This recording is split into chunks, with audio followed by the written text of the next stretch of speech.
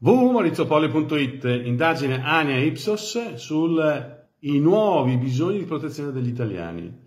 Questa ricerca, che vi porto il link, dice che 9 italiani su 10 sono vulnerabili, si sentono vulnerabili ai rischi.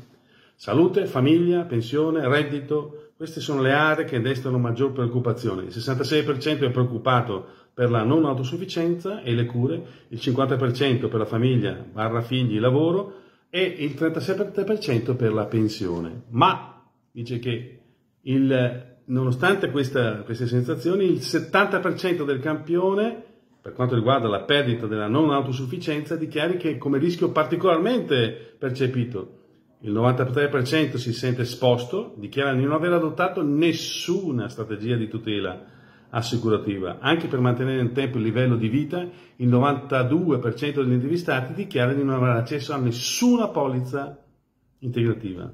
Ecco, quindi se percepiamo il rischio ma non facciamo niente, eh, quindi il rischio rimane.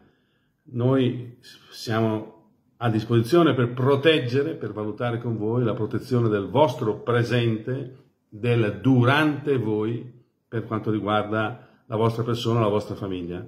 Io sono Maurizio Poli, educatore e consulente finanziario.